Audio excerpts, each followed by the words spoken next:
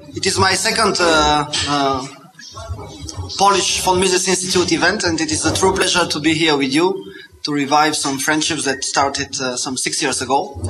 And it is also a real pleasure to, to be today at an event, uh, the purpose of which is to better understand the ongoing euro area crisis. Uh, the ever evolving and creative, to some extent, policy response uh, to the crisis has shown, if anything, uh, that its real causes uh, remain still ignored. I will contend, together with the previous lectures, that uh, the fractional reserve banking uh, and central banking are at the root of the economic uh, boom bust cycle. But my main goal here will be to show how this same fractional reserve banking principle leads to further centralization and unification, as shown uh, by the recent internationally sponsored economic stabilization programs in a number of euro area member states. To do this, I will first start with a stylized description of the present day monetary order. I will briefly present a few causes of instability which leads to precisely monetary unification and intergovernment cooperation. And as a matter of fact, these are two aspects of one and the same economic process that could be uh, best labeled as monetary imperialism.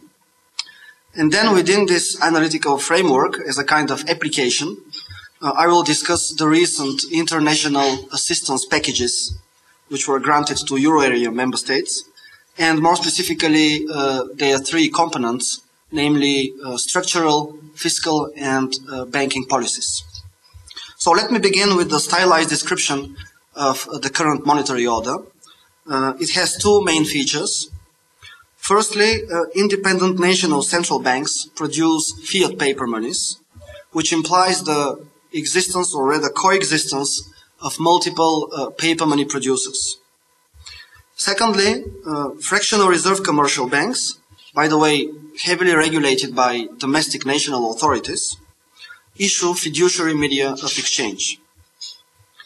So let me start with uh, uh, an explanation of the inherent instability of a fractional reserve banking system before I dwell later into the international implications of uh, papers money, paper money's political nature. The first cause of instability in a fractional reserve banking system is due to the fact that a relative change in the demand for different types of media of exchange results in a nominal change in the aggregate supply of money.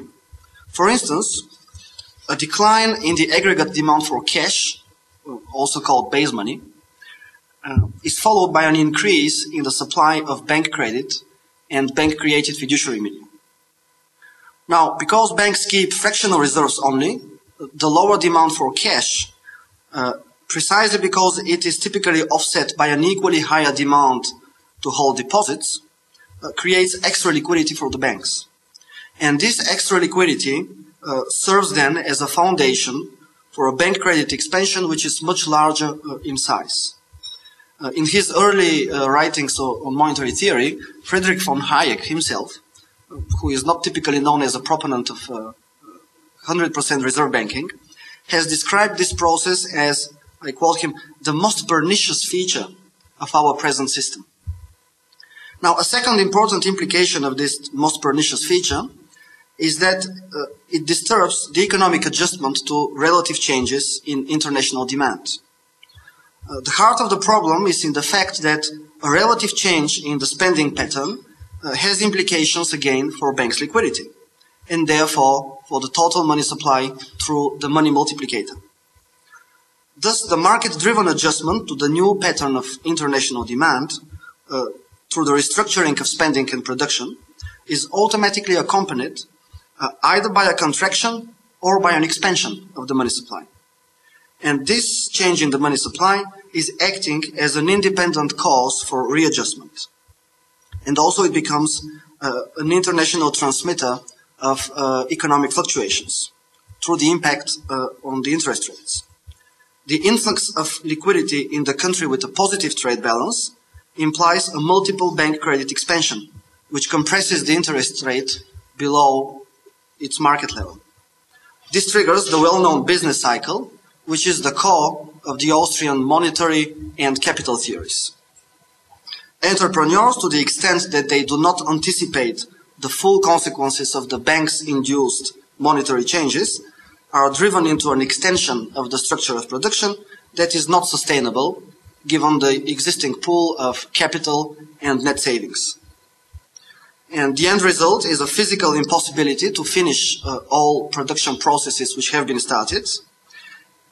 And most importantly, the loss of value for all non-convertible factors of production. In other words, this results in a general impoverishment of society. Third and finally, the bust phase of the business cycle is destabilizing the fractional reserve system itself. Uh, companies' bankruptcies lead to unrecoverable losses and to capital erosion for banks, which raises doubts about their own solvency.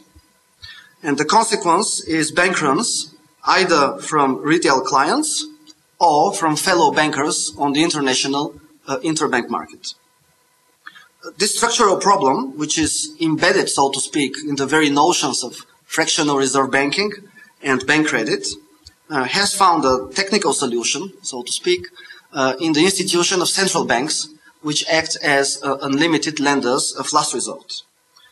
Now, however, uh, this short-term anti-insolvency uh, expedient, as it could be called, is effectively promoting moral hazard and therefore an even less conservative behavior on behalf of the commercial banks. And this is nowadays shown by the very low levels of cash reserves and capital. Now, not to say that central bank monetary policy, through its infusion of liquidity, uh, has become uh, the main modern driver uh, of the business cycles. Now, this calls for a further analysis of the economic instability that can be imputed to the very nature of uh, modern central banks. Uh, what is the distinctive feature of uh, present-day central banks? Well, it is their political and privileged position within the economy the very framework in which paper monies are produced and introduced into circulation is fundamentally different from that of uh, commodity monies. Uh, commodity monies, which evolve out of the direct voluntary exchanges, are subject to the rules of what could be called horizontal and vertical competition. On the one hand, different commodities could be competing for fulfilling simultaneously the functions of a medium of exchange. Additionally, various producers of the same commodity uh, can be competing for offering certification services with respect uh, uh, to the different monetary objects in the economy. But even more importantly, the producers of any of the commodities which serve as media of exchange must compete in the context of general scarcity with the producers of any other good. Now, this implies that on the market, an expansion of the money supply is costly, as factors of production must be uh, bid up from other sectors. And in this way, the price mechanism, through its influence on the expected relative profitability of business ventures, naturally regulates the quantity of money uh, in the economy, or would regulate the quantity of money uh, on the free market. Now, this natural regulation of both the production and the purchasing power of commodity monies also ensures that uh, those who venture into supplying the media of exchange in the economy uh, do not benefit from a privileged position. Their income and wealth are positively affected if the demand for money rises relative to other commodities, including other media of exchange, of course. Uh, inversely, a negative income effect would occur uh, if competition intensifies or demand declines. Uh, so in a sense, competitive money producers on the free market must cope with the uncertainty uh, related to the management of private property uh, and could occasionally even be driven out of business, exactly as in any other capitalist uh, venture. Most significantly, the fact that, the that, they supply the economy with a medium of exchange does not confer on money producers any special status that would allow them to claim more of the aggregate output of the economy than what they would earn on the market. And they would earn on the market uh, as much as other property owners would voluntarily transfer to them through free and mutually beneficial exchanges. Now, with paper monies, things are altogether different. Uh, first, it should be emphasized that the acceptability of paper monies in the daily exchanges is rooted exclusively in the government's fiat. Uh, given that they have no non-monetary utility and therefore no alternative source for valuation, uh, the foundation for ever accepting to hold paper monies comes from the legal certainty that any attempted rejection of the paper monies uh, will be defeated by the government. Uh, paper monies owe their existence to legal tender uh, regulations enforced by, uh, by governments. Now, this economic fact that we learn from value theory uh, is important because it underlines that states and paper monies share a common feature, namely their coercive nature.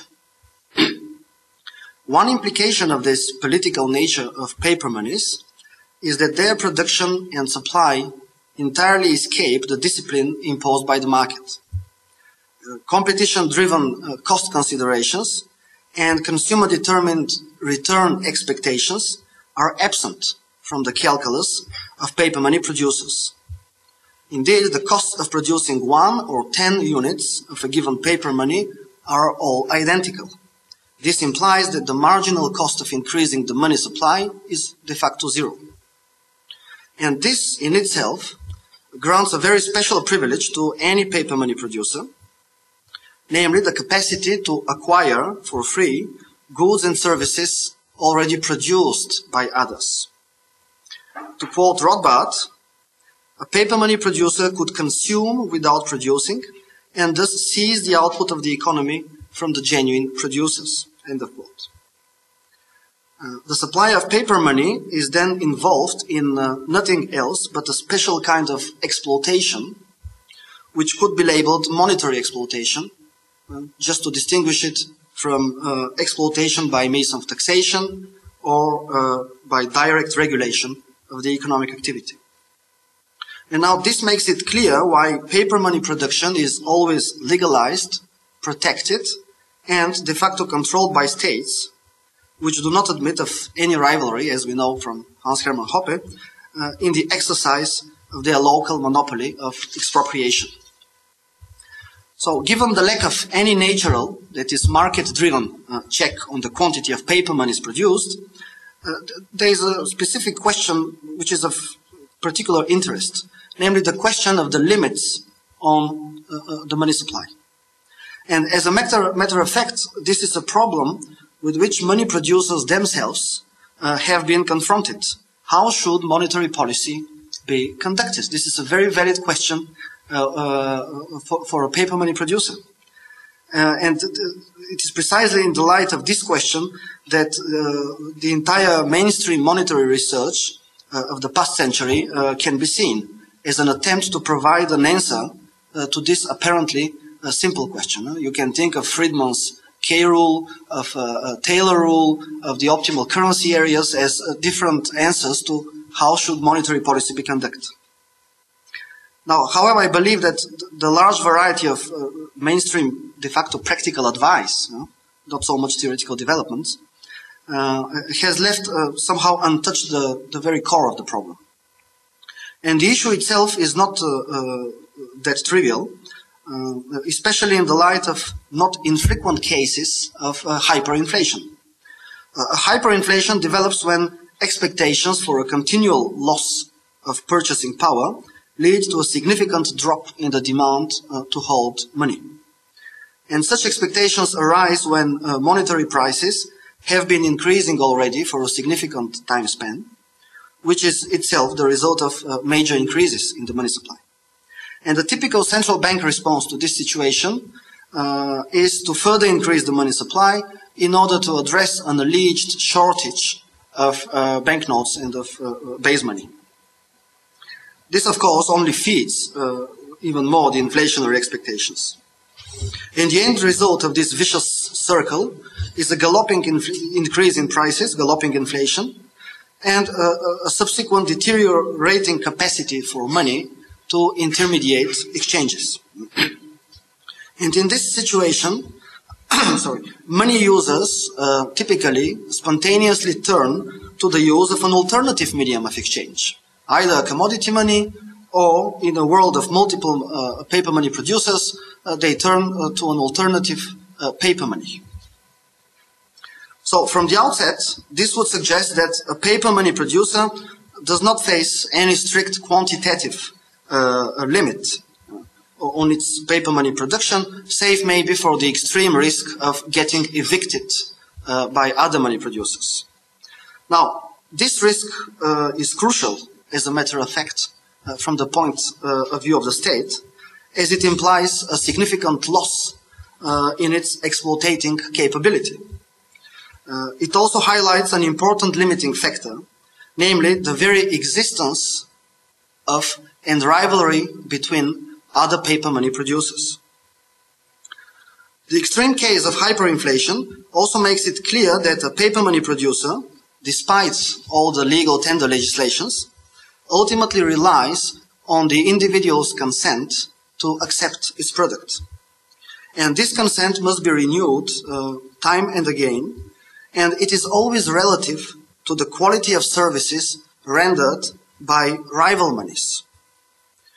Uh, indeed, any state which alone intensifies monetary exploitation faces either a gradual depreciation or a sudden devaluation of its currency relative to foreign currencies.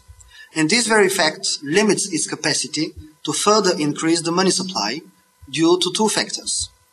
First, the loss of purchasing power means that a stronger increase in the supply of money would be needed uh, in order to yield the same expropriation effect. And second, uh, the public consent is significantly endangered when there is loss of purchasing power, and this could lead to a further depreciation uh, of the currency. it is then clear that uh, the obstacle in front of a single state to expand its monetary exploitation is the very existence of multiple paper money producers.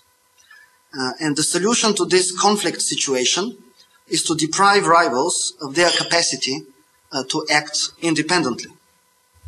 Uh, now, this does not only help the state to increase uh, monetary exploitation internally, it also allows it to grow externally and to enlarge the territory that it dominates.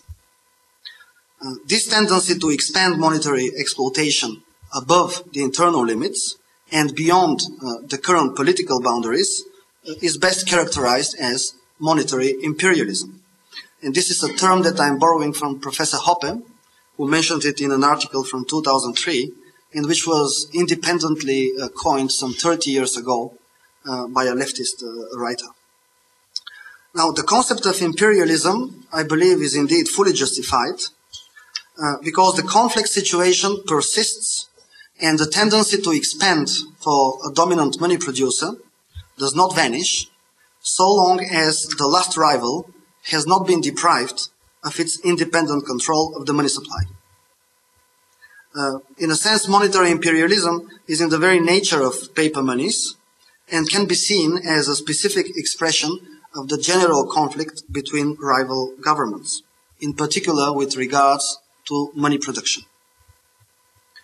Uh, as long as there are multiple paper money producers, I would contend that the policy of monetary imperialism could not be avoided. Uh, in addition, uh, the reality of this policy is guaranteed by the fractional reserve banking system itself. Uh, because they are regularly weakened by the bust phase of the economic cycles, uh, the inherently bankrupt fractional reserve banks drag the domestic states into bailing them out, uh, thereby significantly endangering its financial condition and capacity uh, to act independently. It follows that at any given moment, some paper money producers must be weaker than others. And according to a generalized progression theorem, which was formulated by Professor Hülsmann, uh, political centralization and ultimate political unification uh, is in the interest of both the financially strong and the financially weak uh, political entities. Uh, so the very same weaknesses of fractional reserve banks that bring national central banks into existence also make sure that this centralization process uh, is fully completed uh, internationally. Uh, commercial banks might even uh, actively promote uh, the submission to a stronger foreign money, paper money producer, given that they critically depend on the reliability of a, a serious and strong lender of last resort. I think we can identify two general forms of uh, monetary imperialism. One is unification, and the other one is cooperation. Uh, unification results in the effective reduction uh, of the number of paper money producers. Uh, monetary cooperation is less uh, intuitive, uh, a more subtle case, so to speak, of imperialism. as in this case, the number of paper money producers is not reduced, even though, for all relevant purposes, they all act as one. Uh, and this broad classification uh, will allow me now to present a reinterpretation of the present day monetary arrangements and to discuss uh, the recent bailouts uh, in the euro area. So with respect to monetary unification, uh, three distinct institutions that bring it about could be uh, spelled out. And these institutions are dollarization, monetary unions, and the currency board. Uh, dollarization uh, occurs in cases of hyperinflation, when people spontaneously quit the domestic money and begin uh, using a foreign paper money of better quality. Uh, the domestic money producer is evicted, while the foreign central bank gains an extension to its uh, territorial monopoly. Uh, recently, cases of official rather than spontaneous dollarizations have also occurred, in that case, an official agreement uh, allows the otherwise evicted uh, central bank to keep some form of existence and to share into the seigniorage of supplying the money supply uh, on the national uh, territory. And the most prominent uh, current examples of uh, dollarization include Ecuador, El Salvador, Uruguay, Nicaragua, Kosovo, Montenegro, and most recently Zimbabwe. Now, the currency board uh, addresses this issue of sharing seigniorage uh, by design. Uh, the setup of a currency board always proceeds from uh, an official agreement uh, by virtue of which the domestic central bank declares that it will produce cash bank notes and replenish banks' reserves at the central bank currency board exclusively in exchange in foreign reserves this is the reserve currency, and this according to a predetermined uh, uh, fixed conversion rate. Now, from an economic point of view, uh, the domestic currency is no longer money per se, uh, but a simple money substitute, according to the Misesian typology of monetary objects, uh, a money substitute that is redeemable uh, in the foreign money. in this way, the currency board effectively transfers uh, the monopoly of money production to the foreign central bank. Uh, its own specificity lies in the fact that the evicted central bank keeps its physical uh, existence, while its economic nature is transformed from a money producer into a deposit bank. Uh, real-world examples of currency boards, uh, such as those in Hong Kong, Lithuania, Estonia, prior to the adoption of the euro, and Bulgaria still, have all operated uh, on the fractional reserve principle. Uh, now, this means that only a small portion of the foreign currency received by the board has been effectively kept in reserves, liquid cash. The vast majority of uh, the currency received has been invested in interest yielding foreign currency denominated uh, bonds. And the yield on these uh, securities has functioned as a partial compensation for the lost seigniorage that the currency board used to earn in its previous quality of independent money producer. And this financial benefit in the event of a currency board, if you compare it to a dollarization, also explains why currency boards have been so popular and uh, uh more popular than uh, dollarizations. Now, the third form of uh, monetary unification, uh, namely the setup of a monetary union, uh, is very, very close in, in practical implementation. Uh, should the single money of the Union be already produced by one of the member states, then the creation of a monetary union consists in official, simultaneous, and multiple dollarizations. If a new money is to be introduced, then the setup of the union must undergo an initial stage where the member states peg their currencies to the new currency. And in a sense, this new currency, which lacks a history of prices, and we know from Mises and the regression theorem how difficult it is to introduce a new currency. So this new currency must be born as a money substitute, uh, initially produced by a de facto currency board. And the next final stage consists in interchanging uh, the nature of the monetary objects. So the money substitute becomes the real money and the previously existing monies become money substitutes, which eventually disappear physically. And the different steps of the European Union until the eventual physical introduction of the euro in 2002 uh, perfectly fit into this uh, three-stage uh, sequence.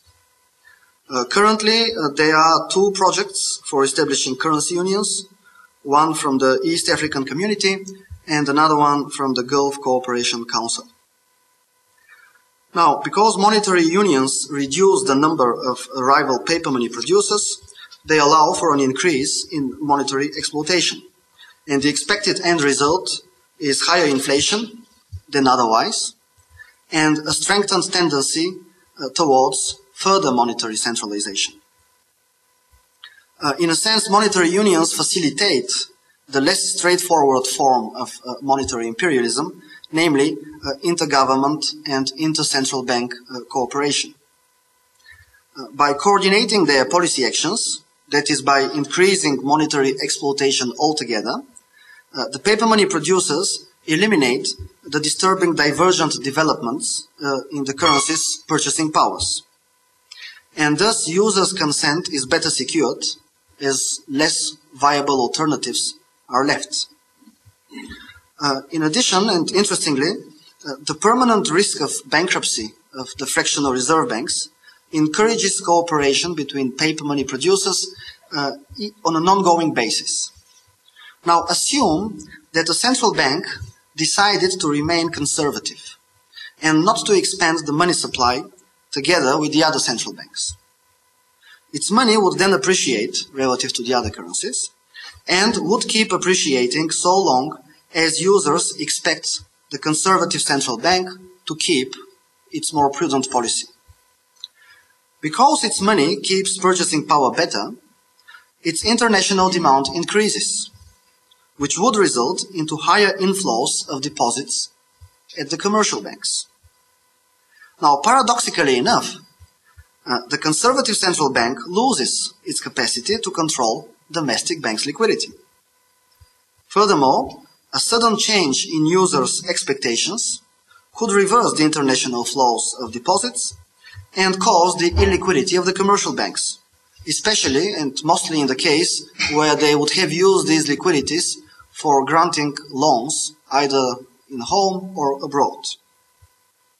And the attempts of the central bank to recover control over the liquidity of the domestic banks, for instance by a sterilization policy, would de facto imply that a foreign-induced monetary policy has to be followed.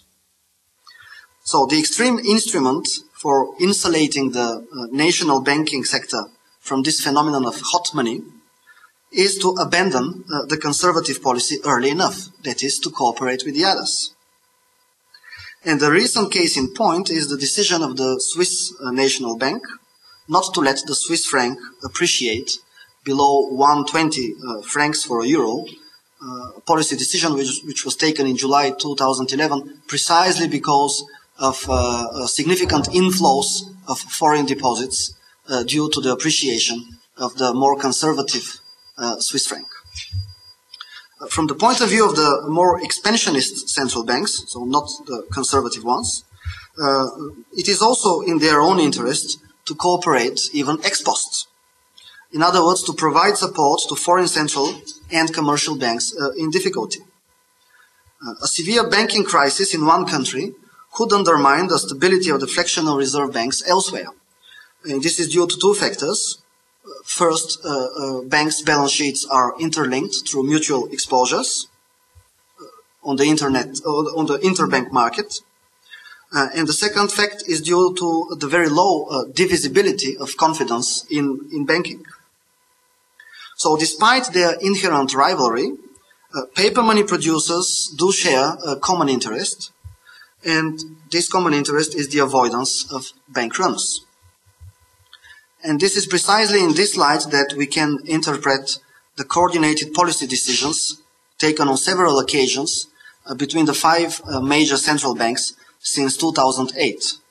And more specifically, the, the US dollar uh, uh, euro swaps, which were meant to provide dollar liquidity to European banks, which were lacking uh, dollars. So monetary cooperation is uh, an instance of the general intergovernment cooperation, which can take a second form uh, of direct financial assistance through intergovernment loans. And this brings me uh, uh, to an analysis of these official loans, which have become very prominent uh, uh, in Europe.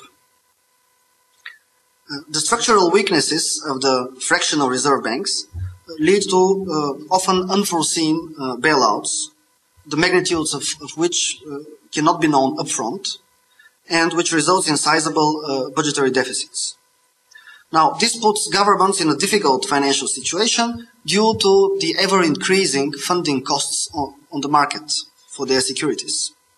And beyond the point, uh, the costs become so high that governments decide to stop issuing new securities and to look for an alternative funding option.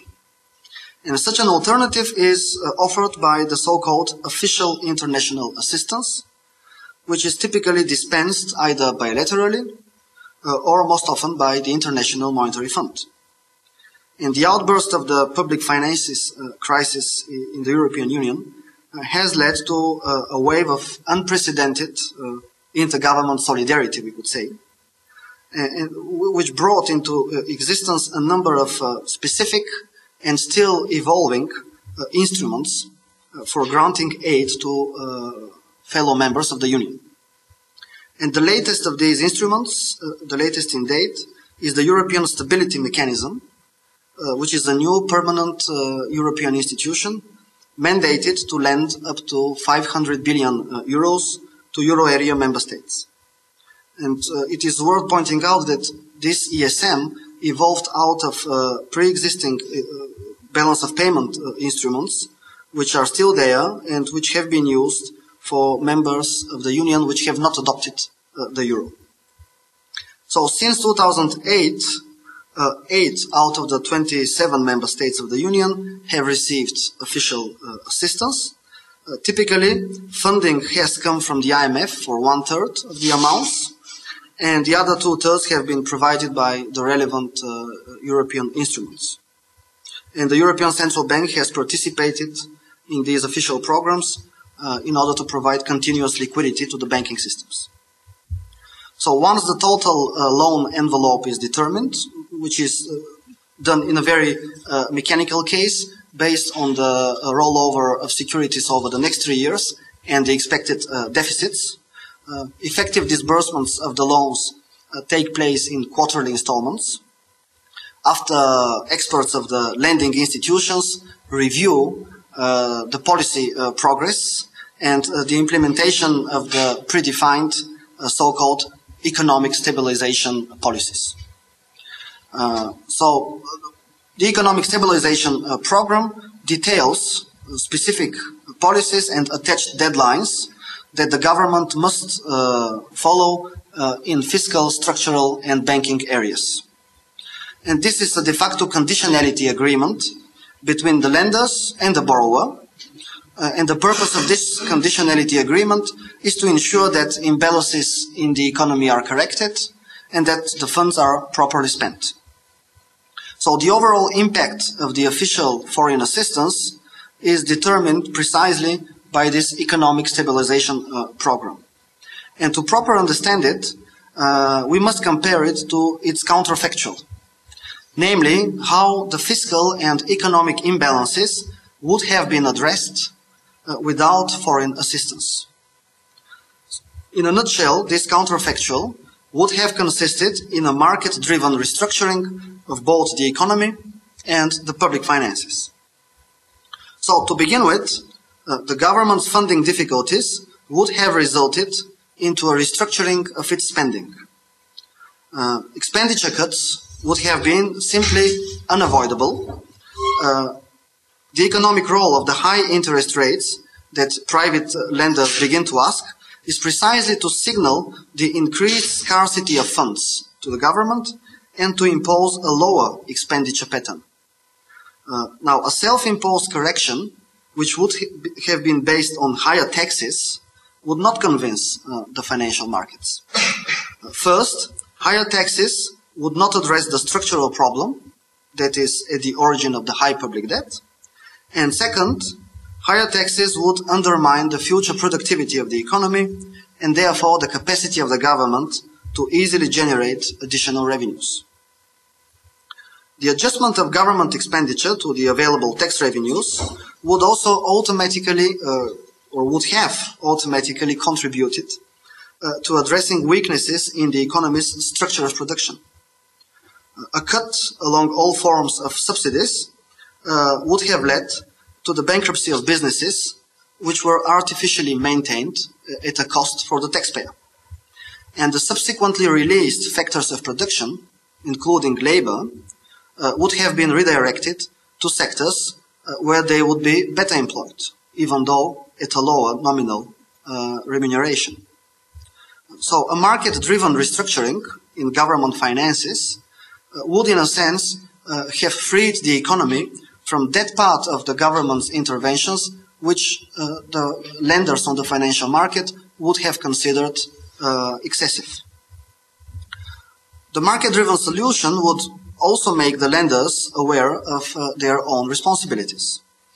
beyond the point, the restructuring of the government activities would also include a rescheduling of the outstanding public debt, which would, of course, uh, have implied losses for the investors in sovereign securities.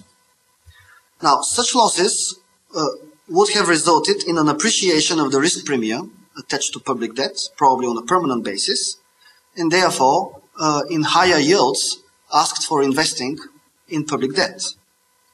And this is the ultimate sanction that would have safeguarded uh, long-term discipline uh, in public spending. Now, against this background, an official economic stabilization program clearly thwarts, so to speak, the national adjustment process. Uh, in essence, the cheap official funding uh, allows the government to maintain its overall size without scaling down. Nevertheless, because of the reality of the uh, imbalances, uh, which could have been hardly denied, the necessity for adjustment is fully recognized both by the official lenders and by the borrower. But now that the market-driven correction is precluded, the adjustment must take the form of administratively decided uh, uh, and implemented policy actions. Now, in a sense, I believe this uh, sheds new light on the nature of the so-called conditionality, which is often presented uh, as a means for, for avoiding the buildup of uh, moral hazard caused by the cheaper than the market uh, funding. Now, conditionality appears uh, to be uh, much more fundamental and implied in the very notion of intergovernment support. Because the market is not there to help the adjustment, the adjustment must be done uh, in, a centralized and administrated uh, manner. And in addition, uh, it is quite clear that uh, if you look at the historical record of conditionality, it, it has hardly prevented a moral hazard. Now, the, the key problem with uh, an administratively decided uh, stabilization program is that it is uh, trapped in an inescapable uh, contradiction. On the one hand, the provision of sufficient financing to cover the government's funding needs over the next years reduces the urgency to adjust public finances. On the other hand, the policy conditionality itself is rooted in the awareness that an economic adjustment is much needed. And here there is a fundamental contradiction uh, that leads to very low incentives to implement unpopular reforms. Now, it also implies that in practice, an official stabilization program is unlikely to succeed. Uh, the official creditors do not have sufficient knowledge uh, of where the imbalances originate from. Uh, it is not enough to point at excessive public deficits and debt. Uh, one must also find which government programs and policies are at the origin of the unsustainable spending. And this is a knowledge that uh, I believe uh, rarely anybody possesses. Uh, at the same time, the assistant government, the assisted governments have little incentives to sort out their finances and to terminate practices that create financial holes. Why would a government uh, fight bureaucratic resistance if funding uh, is, after all, available?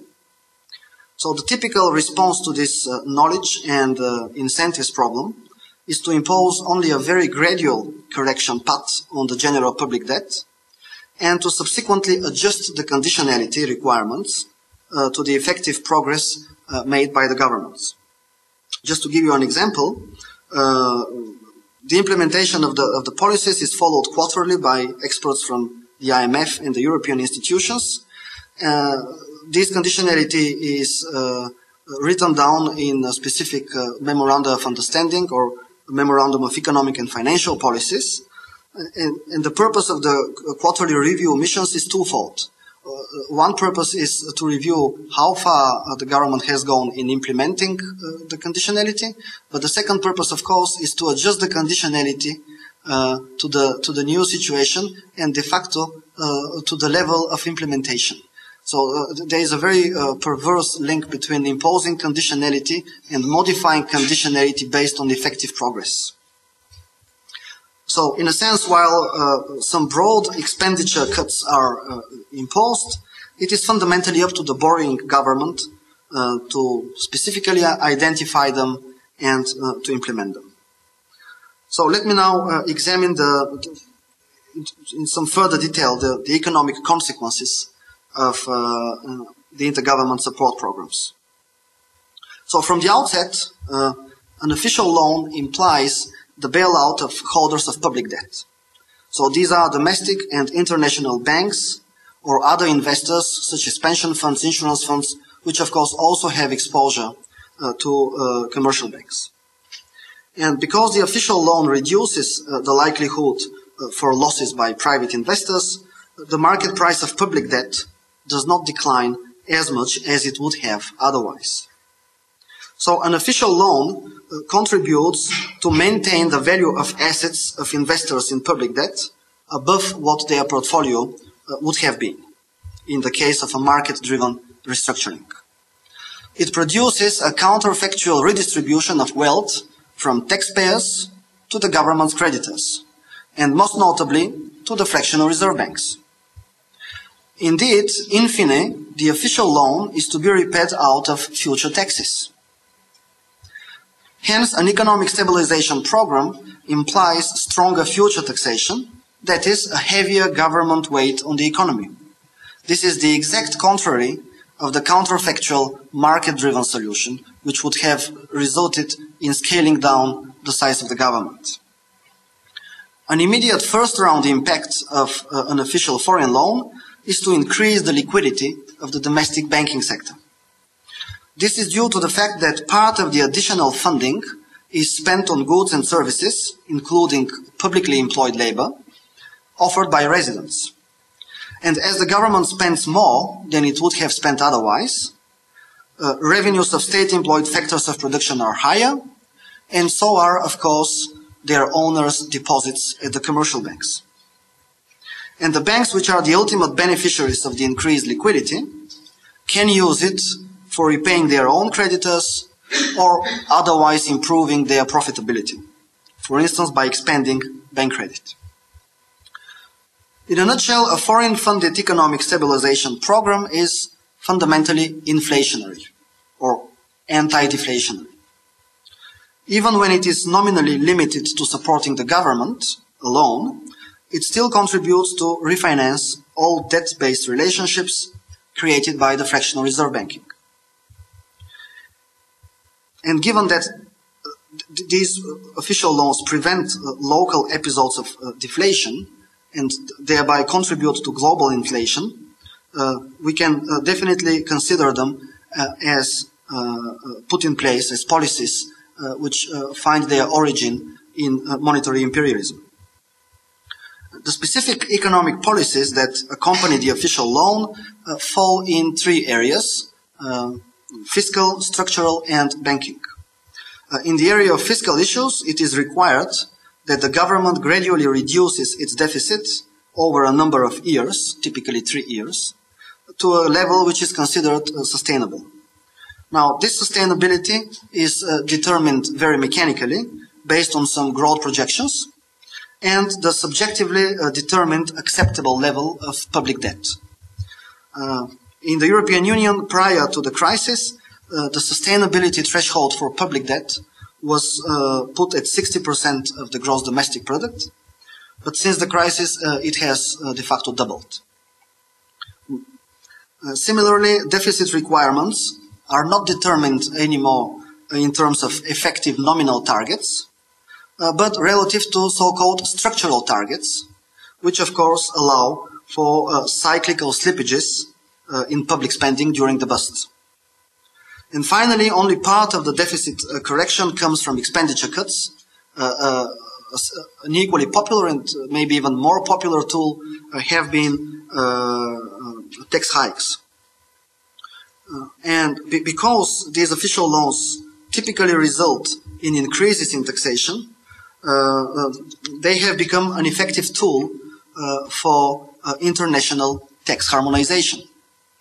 And the fact that tax optimization opportunities for businessmen are reduced is a clear benefit to the foreign creditor states, which now also have the leisure uh, to be able to increase uh, taxes higher, given that uh, tax evasion opportunities have been reduced. The so-called structural policies uh, relate to uh, the fundamental conditions of uh, conducting economic activity, such as uh, labor legislation, pension arrangements, state monopolies, uh, protected professions, or different trade barriers of any kind. And the required adjustments in these areas are meant to increase the economy's overall productivity and compet competitiveness. The goal is to generate sufficient surpluses that would allow timely repayment of uh, the overhang of foreign debt. Uh, however, uh, it must be pointed out that structural policies also extend the notion of uh, efficiency uh, to areas such as tax collection, public finances framework, and again, tax evasion. Uh, so while stru structural policies do introduce higher economic freedom in some sectors, they also lead uh, to a generally uh, stronger government. Uh, in addition, much bolder and genuine reforms would have been implemented had the national authorities not received an official foreign loan. quite often it is alleged that the conditionality attached to the loan is the best opportunity for domestic politicians to carry out and implement reforms that would have lacked uh, social support and public consensus without the intervention of the international institutions. I believe, however, that uh, this argument uh, wrongly compares the structural reforms under the loan agreement to the situation prior to the government's financial difficulties. And uh, this argument also ignores the, the, the, impact, the very impact of uh, the cheap official uh, financing. Finally, uh, the third policy area uh, of an official uh, program covers the banking sector. Now, measures here aim at ensuring that banks are adequately capitalized and provided with sufficient liquidity. Undercapitalized banks, uh, whether effectively at a given historical uh, moment or in light of expected losses uh, over three years period included in the stress tests, uh, receive state-funded capital injections which are financed by uh, the official foreign loan. Uh, now, in the event where the undercapitalized uh, bank uh, would be deemed non-viable, uh, restructuring and resolution are applied, such as dividing the bank into two institutions or consolidating it uh, with another entity. Now, there is no need here to go into the detail of all possible banking sector restructuring measures, uh, what we have to point out is a common feature. The common feature that must be recognized is that the fractional reserve pr- principle of modern banking is maintained, while accidental changes to the business landscape uh, are voluntarily accepted or sometimes even uh, imposed. And the end result is that the banking sector is even more regulated, supervised, and de facto controlled by governments. Now, this summary of the uh, stabilization policies required by a foreign official lender shows that uh, genuine problems are being addressed by half measures. Even though some benefits could be expected in the long run from some of the structural policies, these are immediately offset by increased government involvement in all areas of economic life. And as a consequence, these administrative programs are bound to yield poor economic results. Now, of course, uh, these poor economic results quite often, and already this has been the case, are quickly used as evidence for the need for further government involvement. And this can be seen as a, application of Mises's uh, interventionism uh, uh, theory, where the failure of one interventionist measure uh, calls for a corrective second intervention. Uh, so uh, there is a very perverse dynamic, so to speak, in these official programs, the lack of success of which is uh, feeding further government involvement uh, in economic life. In a nutshell, these economic stabilization programs promote anti-free market sentiment. But I believe we can go a step further and even claim that their macroeconomic consequences uh, are fundamentally anti-reformist. Uh, first, uh, the economic conditionality attached to the loan delays and even precludes Uh, some critical reforms. Uh, second, uh, the loan brings about a generalized bailout of all creditor to debtor relationships, and most importantly, an increase in the money supply. And both of these tend to maintain the social and economic statu quo. The higher future taxes, uh, which are the necessary implication of a foreign bailout, put a burden on the future wealth to be produced by the economy. That is, on the younger generation. At the same time, the current owners of wealth, much of which has been accumulated in an unsustainable way due to the fractional reserve banks, are mostly shielded from bearing the losses. In this way, a bailout de facto hinders innovation, free entrepreneurship, and precludes the natural renovation of the economic elites, which a market-driven uh, restructuring would have uh, implied. Now, these conclusions are strengthened uh, when we consider what would have been the specific impact of the market-driven restructuring on the banking sector. Uh, the unavoidable cuts in government spending would have resulted in a lower income for state-employed factors of production and subsequently in lower liquidity for banks. This would have led to a lower capacity of the economy uh, to reimburse debts, to a surge in the non-performing assets on banks' balance sheets.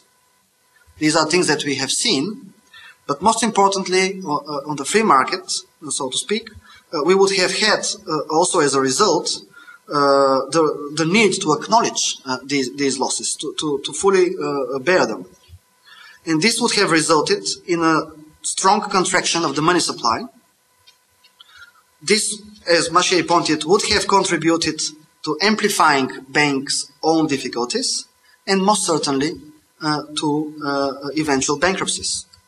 The fractional reserve banking system, in a sense, would have imploded in such a deflationary environment. And I believe that the main macroeconomic achievement and purpose of uh, an official foreign loan is, uh, has been to avoid precisely this outcome. Uh, namely, to make sure that the money supply does not contract and that banks do not go bust.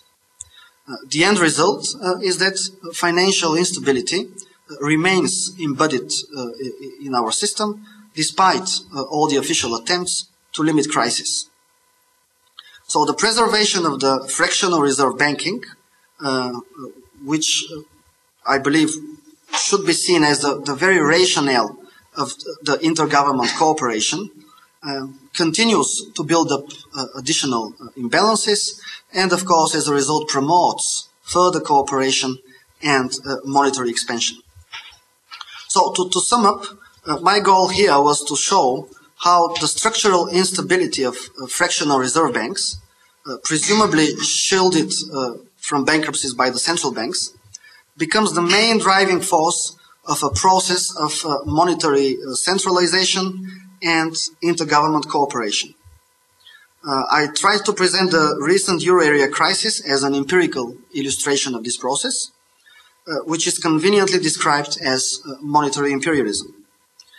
The official policy response to the imbalances, rather than addressing the root cause of the crisis, keeps the statu quo it implies that the economy will be further weakened, which will result in renewed calls for state intervention and further policy uh, initiatives.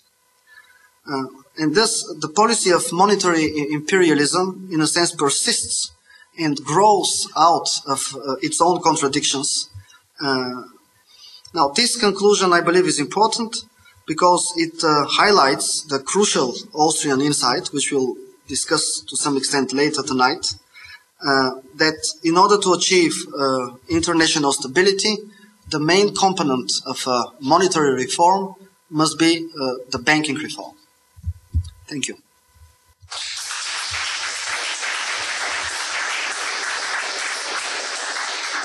We have some 10 minutes for questions, so please.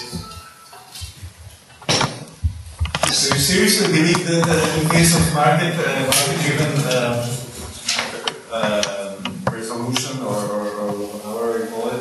uh, there would be there would be a push towards uh, mm, setting aside or, or, or extinction of fractional reserve banking. Yes, fractional reserve banks. Some of them would have to collapse all the depositors will become the owners of the banks. So nowadays we are in a situation in which people believe that they are depositors while as a matter of fact they are uh, lenders. Yeah, but the institution protecting fractional reserve banking have been in place for, for uh, tens and hundreds of years, regardless of the, of the financial crises and, and, and these uh, international bailouts.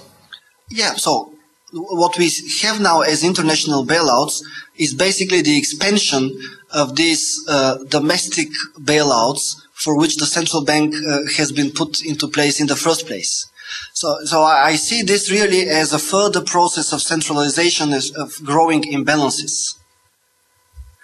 You see, so indeed, I agree with you that uh, uh, historically, uh, the failure of uh, uh, fractional reserve banks to honor uh, their claims have resulted in political calls to establish an entity that will uh, bail them out. This is how we explain in Austrian economics the dematerialization of money, the appearance of the central bank, and uh, its bailing out actions. I fully agree with this.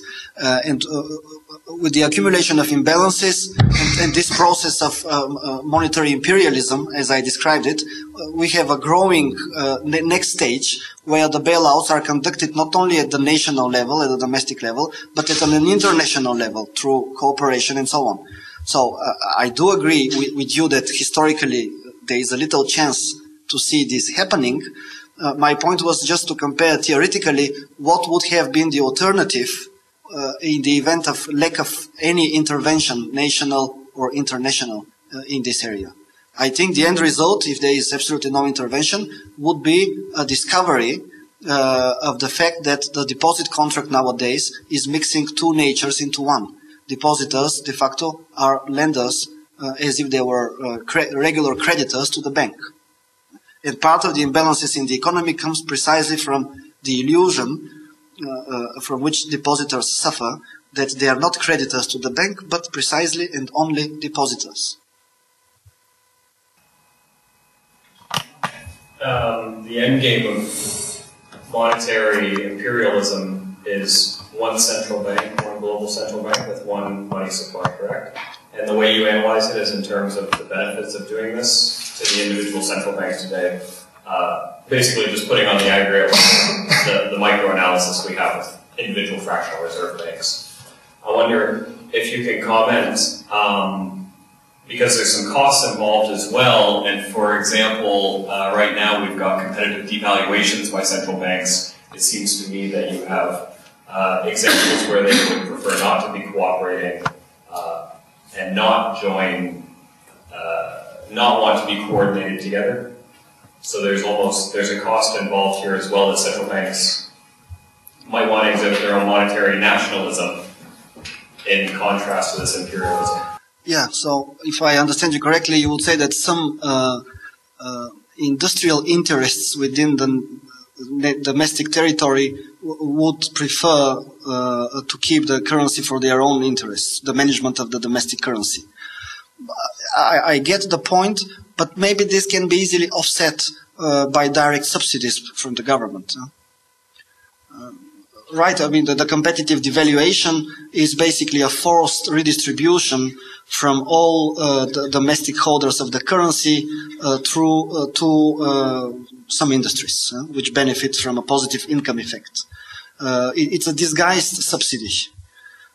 so, so maybe uh, this, this cost and uh, possible opposition to uh, monetary unification could be offset by a direct government subsidy.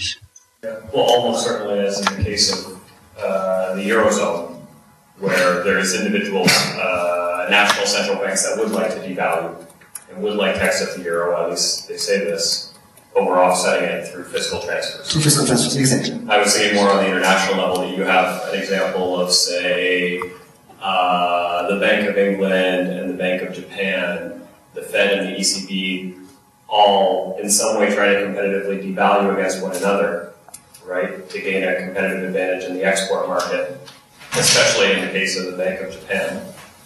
And they would prefer not to be coordinating these efforts because if they do, then uh, not everybody can devalue at the same, same time. Yeah, no, I, I get your point. It's an interesting point. So again, I would say that fiscal transfers could solve this issue, but uh, interestingly enough, I mean, all these banks now, central banks have started to exchange their own currencies. Uh, they, all of them, they have credit lines. Uh, they have repos, swaps. Uh, so I see this more as an, I mean, it is interesting that you bring this uh, as an instance of uh, competitive devaluations. I would see their actions uh, more as co cooperating actions, but probably they are both. Huh? So they are different aspects. Uh, so yeah, thanks for bringing this.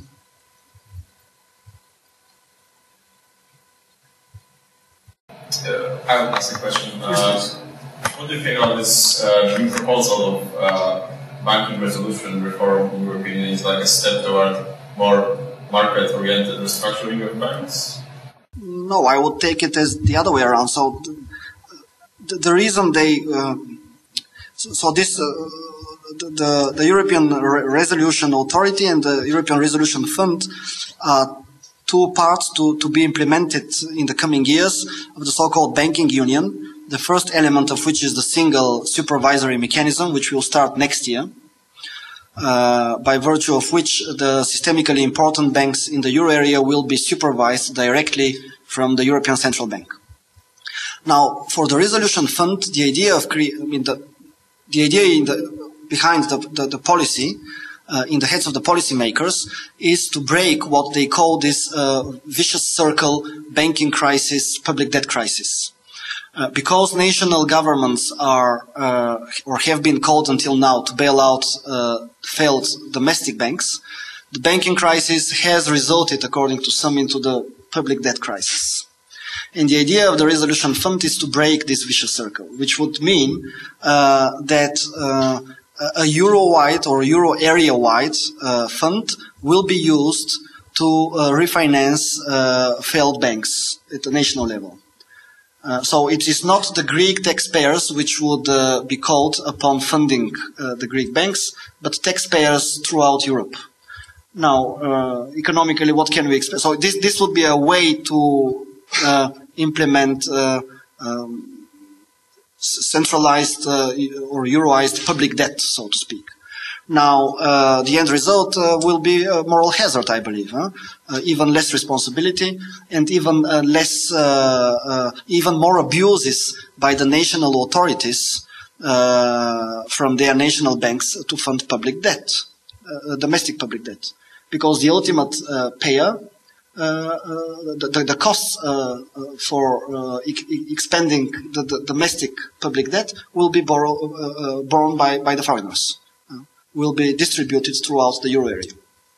but does it not also include like changing like uh, not senior debt into uh, equity or ah, so you're referring to something else here, uh, which is uh, the way in which uh, banks in need of bailouts uh, will be funded. So indeed, this is an initiative which would go rather in the in the right direction.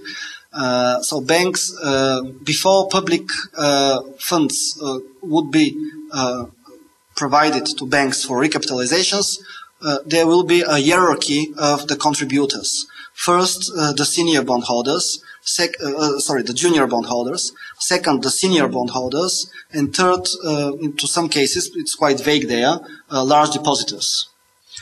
To some extent, this would go in the, in the, right direction, but then, of course, it would be also contradictory with the single resolution fund which will be set up out of public funds. Why would you need a single resolution fund if uh, you uh, uh announce and uh, imply already that uh, future ba bank recapitalizations will be done primarily by private funds? there is something strange there for me.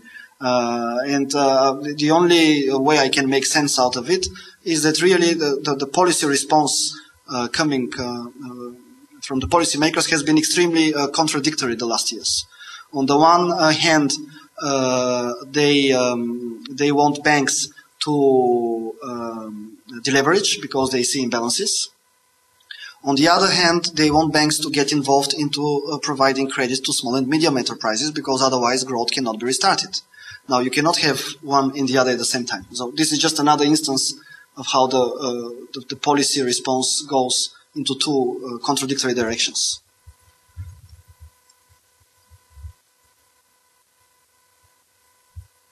And how do you find the role of uh, fiscal treaty in this uh, whole picture? Mm, cosmetic. Um, I mean, fiscal treaty is not an innovation. Uh, uh, we, I mean, th there were uh, principles before for maintaining fiscal discipline and responsibility, but they failed. There was uh, that, that uh, six pack. The six pack, yeah, there are a number of initiatives, and one is losing sight of this. And after uh, they made six pack, they started to work on responsibility. Like always with with these uh, uh, elements, uh, if you read only the um, the big lines, it all looks very fine. But when you start to look all the exemptions, for instance, the deficits are defined in structural terms. So again, uh, the deficit limit in the six-pack is in structural terms, which allows for cyclical slippages. And this has led to the uh, subjective appreciation uh, uh of policymakers themselves. So uh, there are a number of initiatives which I believe are there to calm financial markets, which go on paper to the right direction, to implying more fiscal discipline. But when you look into the fine print, uh, I have my doubts uh, as to the capacity of these legal initiatives uh, to to lead to, to more discipline. So you do not believe that all these regulations inside European Union like six pack and um, above European Union like fiscal treaty, uh, you do not believe that it could be effective? I have my doubts. These are definitely uh, initiatives in the right direction again. Uh, but why do I have doubts? Well, the big doubt is that this is again administratively solving the issue. The issue uh, can be solved on the market if one respects uh, uh its obligations uh, with respect to, to, to debt and to, to, repayment. and it's a little bit like central planning in determining the, the quality of your finances. Uh, if you compare this with a private individual, uh, well, you determine uh, your uh, the state of your indebtedness based on your expected income, uh, your capacity uh, to increase it. it's not, the, I mean, a kind of economic approach to your indebtedness. these policy initiatives uh, completely discard uh, the possible economic regulators of public indebtedness and go for an administrative uh, uh, solution. That's why I have my doubts that this uh, can succeed. And historically, as we see, the Maastricht criteria were permanently abused. So why would now new criteria be respected? And why do you uh, criticize uh, focusing on structural deficit? Because the structural deficit uh, is an artificial construct. The, the, real deficit is the difference between your spending and uh, income. Uh, you can uh, de design the structural deficit in many ways. I mean, th this is an artificially constructed concept. you, you have to take out the so, called uh, cyclical component. How do you determine the cyclical component? You, you, uh, by a change in the methodology, I can show you that you have a structural surplus, while you you have a deficit of uh, 30% based on your uh, receipts. I mean, uh, you take a deficit of 10% to GDP uh, in Spain. This is basically 30% more than what the Spanish government has as receipts. And I'm more or less confident that by, by some methodology I can show you that the Spanish government has a structural surplus. I think your colleagues in the uh, European Commission count, uh, counted, so how do they count? I don't know. It is a big methodology, so I'm not involved in this at all. Uh, Eurostat uh, has methodologies. I do not know, but this makes me only more suspicious. Okay, uh, thank you for that. Once again, uh, Still, you can use different methodologies to count the deficits. Still, you can use different forecasting. So it's something like structural. My point was that the real variable is the difference between how much you get and how much you spend. And this is the only thing that matters. Then you can provide different explanations to this. And, uh, and uh, basically, uh, the, the, distinction between structural and cyclical is a justification of uh, why you spend so much. But the, the major point is that you spent too much. Why? That's another matter. We can discuss it. Uh, and in the legal documents, uh, six-pack, uh, the, the, this kind of justifications are already embedded. This is the only thing that I want to say.